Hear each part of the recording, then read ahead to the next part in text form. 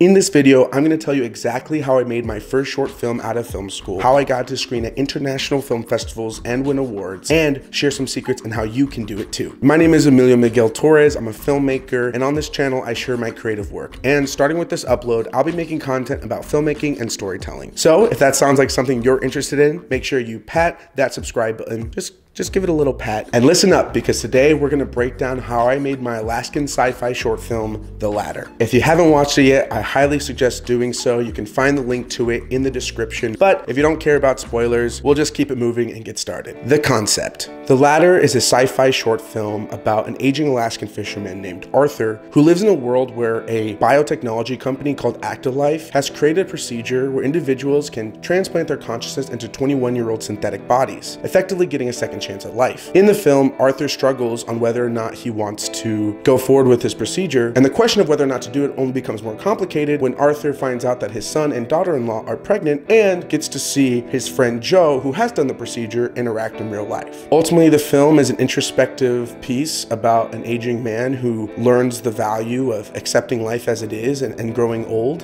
and finding a sense of purpose when seemingly there's no more left. At this point, I've made several short films, and how I get into the concept for each individual one tends to differ from film to film, but in general, I feel my typical creative process starts with me thinking about my current circumstance, thinking about relationships in my life or experiences that I'm currently feeling, and I ask myself, why are those relationships interesting to me at the moment? Or why are these experiences that I'm experiencing interesting to me at the moment? And typically, if I do enough self analysis, I can come up with some creative conclusions, and those creative conclusions can act as the core of a story. In The Ladder, at the core of the film, of course, is the relationship between Arthur and his son, Ryan. I like to say that their relationship is an example of two men who have preconceived notions or expectations of how they should interact with each other. And really, the inspiration for that story came from summer 2019 when I started writing The Ladder. Summer 2019 was the first summer that I experienced as a college student back with my parents, and that was a pretty pivotal moment for me as a young adult because it was my first time interacting with my parents as a grown adult who, for most of the year, was living on my own. So suddenly, a lot of the expectations from me to my parents and vice versa were kind of flipped on their head. I knew I had to start writing to understand this relationship. So, slight trauma dump there, but that's an example of how you can take real life experiences you're having and how you can apply it to a story. A lot of people say the cliche phrase, write what you know, which I think some people interpret as meaning like, I can only write about the specific things that I've experienced in my life, but that's not true. You write what you know, as in you write about what you know you have experiences in emotionally, philosophically. If you watch any of my films, a lot of them start with some sort of core relationship or core experience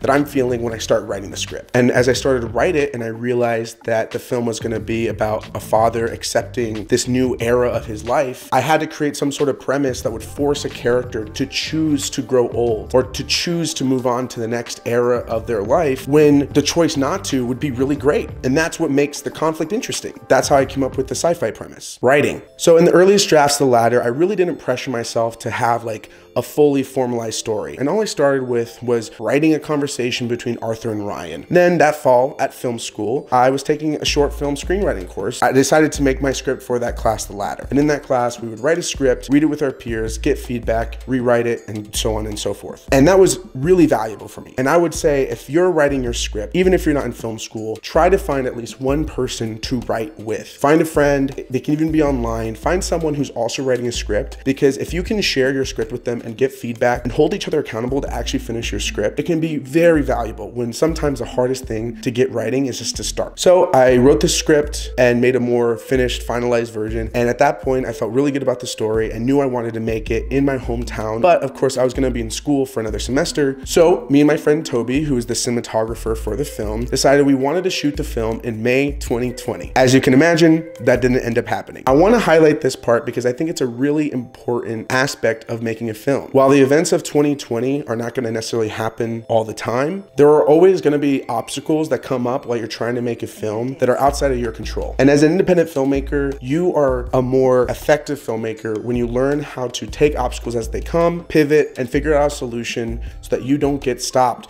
by things out of your control. When something happens that doesn't let you make your movie how you wanted to make it, don't just give up. Figure out something else to do with the project and in the long run, make it more meaningful for you and for your future audience. Due to the events of 2020 and social distancing, I decided to postpone the film indefinitely. I started freelancing as a filmmaker. I did my next school year online over Zoom. And in that class, I made Valor and Sacrifice, another short film that I'm very proud of. And in hindsight, I'm really glad I got that year of making other projects and making Valor and Sacrifice because if I hadn't, the version of the ladder that we would have made in 2020 would have been not nearly as good as the version we made in 2021 because I gave myself the whole year to get better as a filmmaker and I rewrote the script over that year to make it even stronger. Eventually, we found out we were going to be able to make the film in 2021, July, after I graduated film school over Zoom. And once we had a target of when we wanted to shoot the film, at that point, I had realized that if I really wanted to make this film, no longer as a student on my own, I was going to need a substantial budget. After a year of making projects and making my thesis film at NYU, I really thought I had the skill set to make a festival quality short film with a substantial film budget. But in case you haven't realized yet, I was a broke college student. I did not have any money. My parents are not rich. I do not have savings to make this film happen. I have never had $20,000 in liquid cash in my life, but I knew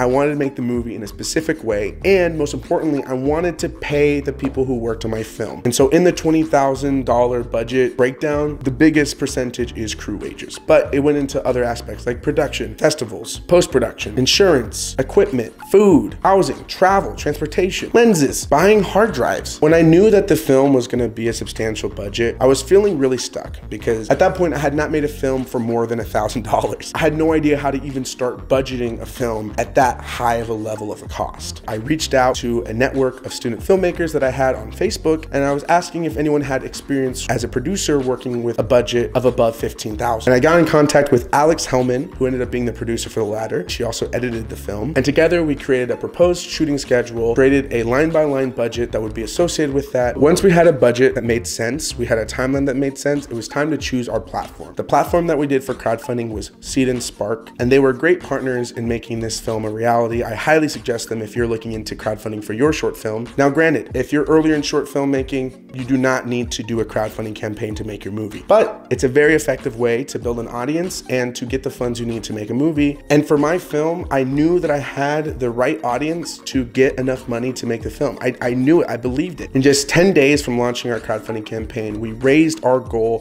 for the ladder, which meant we got to make our film. Now, I could go into detail about all the things that we did to be successful on that crowdfunding campaign, how we successfully raised $15,000 in 10 days, but that could be a whole other video in itself. So if you're interested in seeing a more in-depth video about crowdfunding, what we did and how you can replicate the process, comment down below. And if enough of you want to see that, I'll be sure to make a video about crowdfunding in the future. Pre-production. First, we attached cast and crew. The cast are all local Ketchikan actors. That was more just reaching out to people that I knew, sending them the script, asking them if they were interested. Arthur, who's played by Keith Smith, was a role that I knew I wanted Keith Smith to play. He was a mentor for me when I was younger, and being able to direct him in that role was really awesome. And he ended up winning an award for his performance as Arthur. The crew were some of my best friends from film school, as well as Ketchikan local filmmakers that I knew would be great additions to our crew. Once we knew our target dates to shoot, what days we were shooting, where we were going to be shooting, we could start planning travel, transportation, where we were going to house everyone, how we were going to feed everyone. And thanks to the budget that we got with the crowdfunding campaign, we got to afford everything we needed. At this stage, I start shot listing the film, which means I'm taking my script, I'm imagining how I want to shoot it, and I start breaking it down shot by shot. Also, during this pre-production phase, I did rehearsals over Zoom with the actors, and this was the most fun part for me, production. So like I said, we produced this film in July of 2021. We flew all of our cast and crew to Ketchikan and shot it over the course of four days. Production, all in all, went pretty smoothly. We had planned everything in advance uh, with my producer, my assistant director, another producer, Maggie Berry, who's also my girlfriend. She helped us stay on top of scheduling, timing, where people needed to be when. And all in all, production went pretty smoothly. And in fact, we even had some fun in certain scenes to be able to play a little, which I don't always have the luxury to do on set. For example, in the dinner scene for The Ladder,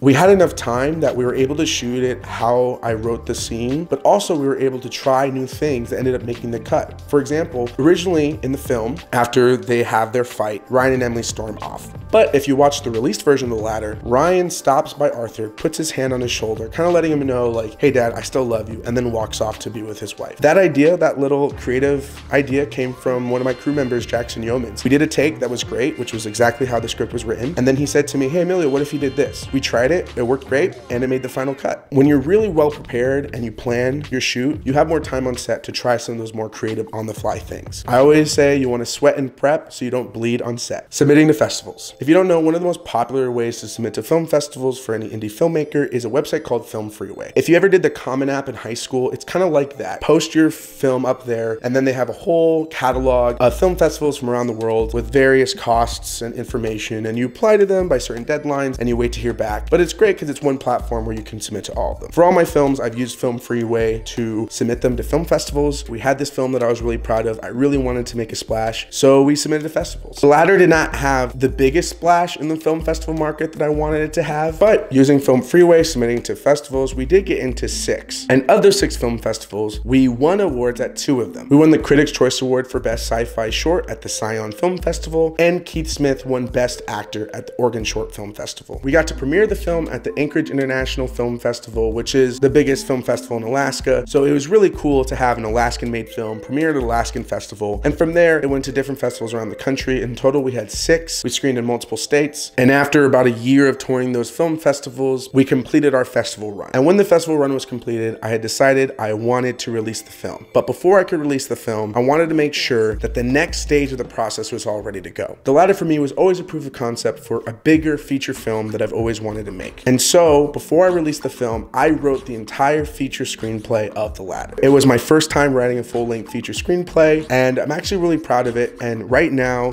in the background, with all the other creative projects I have going on, I'm actively pursuing making that feature film. We're looking for investors. If you're interested in learning more about that feature film, or if you're interested in becoming an investor in the film, please email me. My email is in the description. Um, I'd love to share that with you. But anyway, we held a Ketchikan premiere where I premiered the film, and shortly after that, we released it on YouTube for everyone to see. And in less than three months from releasing the film, The Ladder has gotten over 100,000 views. It's been really exciting to see that the film is engaging with audiences, and it just makes me more excited to release my next short film to you all. There's actually more exciting news coming about The Ladder, but I can't share everything. So for now, I will just say thank you to everyone who's checked out the film. If you have any questions about the film, feel free to comment down below. I'll try to answer as many as possible. To conclude this video, that was how I made my award-winning short film, The Ladder. How I came up with the concept, how I wrote a script for it, how it got postponed due to certain events in 2020, how I was able to do a crowdfunding campaign, how I sent all my friends to my hometown and made a film there, and how I got into international film festivals and won awards. If you have any questions about specific steps of the process of making the ladder, please comment them down below and I'll try my best to answer any and every single one. But if I think it should be a longer form video, I may make a video in the future to explain that part of it. If you made it to the end of this video, please like this video to let me know you enjoyed it. I am no expert in filmmaking. All I can share is my personal experience as an artist, but I'm still very excited to continue uploading videos to this YouTube channel, telling you about filmmaking and storytelling so that we can all grow as storytellers together. Thank you so much for watching. I'll see y'all next time.